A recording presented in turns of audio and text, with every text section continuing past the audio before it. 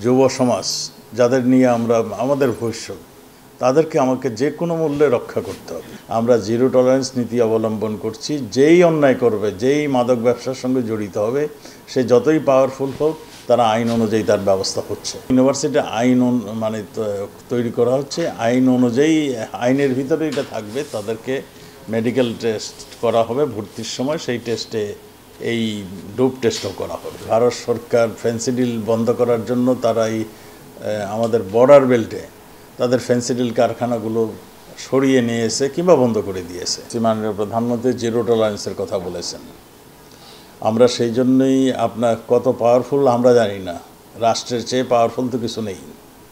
তো আমরা এখানে সর্বাত্মক প্রচেষ্টা নিচ্ছি। আমরা যেই অন্যায় করছে আপনি, যদি জেলখানায় যেয়ে দেখুন কারাগারে যেয়ে দেখুন, সেখানে যেমন পুলিশ সদস্যরাও এখানে রয়েছে, বিজিবি সদস্যরাও রয়েছে।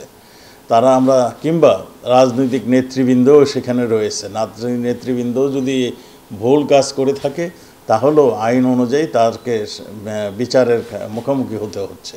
আমরা জিরো টলারেন্স নীতি অবলম্বন করছি। যেই অন্যায় করবে, যেই মাদক ব্যবসার সঙ্গে জড়িত হবে, সে যতই পাওয়ারফুল হোক তারা আইন অনুযায়ী তার ব্যবস্থা করছে। আমরা একটা প্রপোজাল পাঠিয়েছিলাম মাননীয় প্রধানমন্ত্রীর কাছে যে ডোপ টেস্টের মাধ্যমে যাতে যারা সরকারি কর্ম কর্মকর্তা কর্মচারী নিয়োগ যারাই হবে সিভিল সার্জন যে টেস্টটি করেন সেখানে ডোপ টেস্টও করবেন। সেটাও আমাদের কাছে চলে আসছে করা হচ্ছে। এটা একটা ব্যাপকভাবে করতে একটা আর একটা কিছু ইনফ্রাস্ট্রাকচার ডেভেলপ করতে হবে। সেই প্রচেষ্টা আমরা শুরু করেছি। আর ইউনিভার্সিটি কথা এটাও ইউনিভার্সিটি আইন মানে তৈরি করা হচ্ছে। আইন অনুযায়ী আইনের ভিতরে এটা থাকবে। তাদেরকে মেডিকেল টেস্ট করা হবে ভর্তির সময়। সেই টেস্টে এই ডোপ টেস্টও করা হবে। আপনারা নিশ্চয়ই জানেন যে আমাদের ইয়াবা নামক যে সর্বনাশী ড্রাগটা এবং বর্তমানে আইস নামক আরেকটি ড্রাগ এটা ওই মায়ানমার থেকে আসছে। মায়ানমারকে আমরা বহু অনুরোধ করেছি, বহুবার কথা বলেছি, বহু তাদের, আমি পার্সোনালি মায়ানমারের তখনকার রাষ্ট্রপ্রধান অংশং সুচির সঙ্গে এই ব্যাপারে অনেক কথা বলেছি। তারা অনেক কথা বলেন কিন্তু কোনোটাই ওনারা কার্যকর করেন না। প্রতিশ্রুতি অনেক কিছুই দেন কিন্তু কোনোটাই কার্যকর করেন না। আমরা তাদেরকে বলেছি ইয়াবার সাপ্লাই বন্ধ করার জন্য। যেমন আমাদের ভারত সরকার ফেন্সিডিল বন্ধ করার জন্য তারা এই আমাদের বর্ডার বেল্টে তাদের ফেন্সিডিল কারখানাগুলো সরিয়ে নিয়ে এসে কিংবা বন্ধ করে দিয়েছে। আমাদের রোহিঙ্গা জনগোষ্ঠী, আপনারা জানেন, অত্যন্ত দরিদ্র পীড়িত জনগোষ্ঠী এটা। এখানে এরা মানে অনেক সময় জীবন, আগেও জীবনের ঝুঁকি নিয়ে এই ব্যবসায় তারা লিপ্ত ছিল, আগেও ছিল। এখন যারা এখানে অবস্থান করছে, তাদের মধ্যে অনেকেই হয়তো ছিল, আমরা সঠিকভাবে জানি না। এই ব্যবসার সঙ্গে জড়িত হয়তো ছিল। তারাই ফাঁক ফুকর দিয়ে এগুলো আনার প্রচেষ্টা চালিয়ে যাচ্ছেন এবং মাঝে মাঝে আমরাও শুনি যে তাদের এই ক্যাম্পে চলে আসে। আপনারা নিশ্চয়ই জিজ্ঞাসা করবেন এখান থেকে যায় কীভাবে। আপনারা এটাও লক্ষ্য করেছেন, আমাদের এই মায়ানমারে আমাদের টেকনাফের উপর থেকে, নাফ নদীর উপরে যতই উপরে যাবেন, ততই দুর্গম এলাকা সেখানে। সেখানে একদম এতই দুর্গম এলাকা, যেখানে আমাদের বিজিবিও এক বিওপি থেকে আরেক বিওপিতে যেতে মানে অনেক সময় দুই একদিন সময় পর্যন্ত লাগে। এই এই ফাঁক ফোকর দিয়ে এরা এখনও আসছে। আমরা সেই জায়গায়, আপনারা জানেন বিওপির সংখ্যা বাড়াচ্ছি। আপনারা জানেন আমরা সেখানে মানে তড়িৎ গতিতে যাতে আমরা মুভমেন্ট করাতে পারি, আমাদের বিজিবি হেলিকপ্টারও আমরা ক্রয় করেছি। আমাদের ক্ষমতা বাড়ানোর জন্য আমরা কোস্টগার্ডকে শক্তিশালী করেছি। আমরা ওই জায়গাটাতে সেন্সর লাগানোরও একটা পরিকল্পনা আমরা বর্ডার লাইনে আমরা পরিকল্পনা চলছে। আমরা সর্বাত্মক প্রচেষ্টা নিচ্ছি। আপনি যে কথা বললেন রোহিঙ্গা ক্যাম্পে আমরাও মাঝে মাঝে শুনে থাকি রোহিঙ্গা ক্যাম্পে আসছে। আমরা সেই ব্যাপারেও খুব কড়া নজরদারি সেখানে আসছে। আমরা রেখেছি। যেখানেই এরকম পাচ্ছি, আমরা তাদেরকেও, আমাদের আইন অনুযায়ী তাদেরকে আমরা আইনের ব্যবস্থা, আইন অনুযায়ী ব্যবস্থা নিচ্ছি। আমরা তিনটা ধাপে কাজ করি। ডিমান্ড হ্রাস সাপ্লাই হ্রাস এবং হার্ম হ্রাস। সাপ্লাই হ্রাসের জন্য মাদকদ্রব্য, দেখুন, আমরা কিন্তু মাদকদ্রব্য উৎপাদন করি না। কিন্তু এর করাল গ্রাস এর থেকে আমরা কিন্তু আমাদের যুব সমাজ, যাদের নিয়ে আমরা, আমাদের ভবিষ্যৎ, তাদেরকে আমাকে যে কোনো মূল্যে রক্ষা করতে হবে। সেই গ্রাস থেকে রক্ষা করার জন্য আমরা সর্বাত্মক প্রচেষ্টা গ্রহণ করেছি।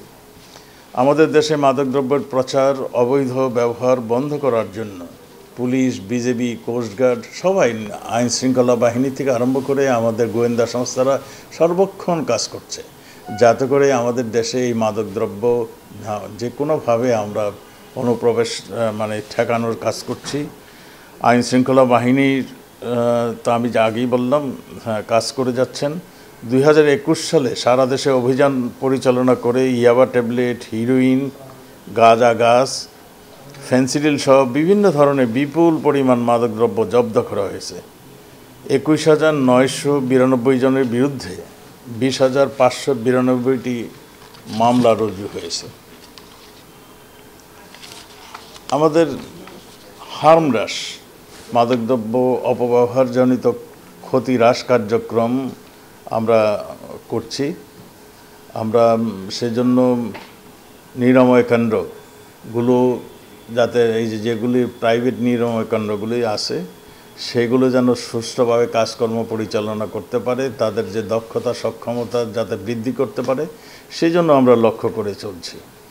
এবং আমাদের এই পর্যায়ে মনিটরিং কমিটি গঠন করা হয়েছে। এই কমিটিগুলি মাদকাসক্ত নিরাময় কেন্দ্র সময় নিয়মিত মনিটরিং করছেন। এবং একটা সুনির্দিষ্ট গাইডলাইন এই জন্য থাকার প্রয়োজন। আমরা জরুরি বিবেচনায় জাতীয় মাদক বিরোধী কমিটির সিদ্ধান্ত মতে মাদক আসক্তের চিকিৎসা পদ্ধতি সম্পর্কে জাতীয় গাইডলাইন তৈরির জন্য একটা কারিগরি কমিটি স্টেক হোল্ডারদের নিয়ে কর্মশালা ও সভা করে গাইডলাইনের খসড়া চূড়ান্ত করা হয়েছে। এছাড়া সরকারি নির্বাচনী ইস্তেহার অনুযায়ী মাননীয় প্রধানমন্ত্রী শেখ হাসিনার নির্দেশনা মোতাবেক আমরা মাদক মুক্ত করার জন্য কার্যক্রম চালিয়ে যাচ্ছি। মাদকদ্রব্যের সরবরাহ এবং ক্ষতি হ্রাসের পাশাপাশি মাদকদ্রব্য নিয়ন্ত্রণ অধিদপ্তর মাদক সেবনের ক্ষতিকর প্রভাব সম্পর্কে মানুষের মধ্যে সচেতনতা সৃষ্টির কাজ থেকে কাজ করে যাচ্ছেন। দিবসটি উদযাপনে গণমাধ্যম যথেষ্ট প্রশংসনীয় কাজ করছে বলে আমরা মনে করছি এবং তাদের কাছে আমরা সহযোগিতা চাবো। তারা যেন সবসময় এই মাদক নিয়ে তারা মাদকের কুফল মাদক কীভাবে প্রসার ঘটছে সেগুলো নিয়ে তারা যেন জানে, জানান সবাইকে, সচেতন করেন। এবং প্রিন্ট এবং ইলেকট্রনিক মিডিয়ার সকল সদস্যকে আমি আন্তরিকভাবে এই যে তারা কাজ করছেন এবং কাজ করে যাবেন, সেই জন্য আমি তাদেরকে আরও আবেদন রাখার জন্য আহ্বান করছি এবং তাদেরকে পাশাপাশি ধন্যবাদও জানাচ্ছি।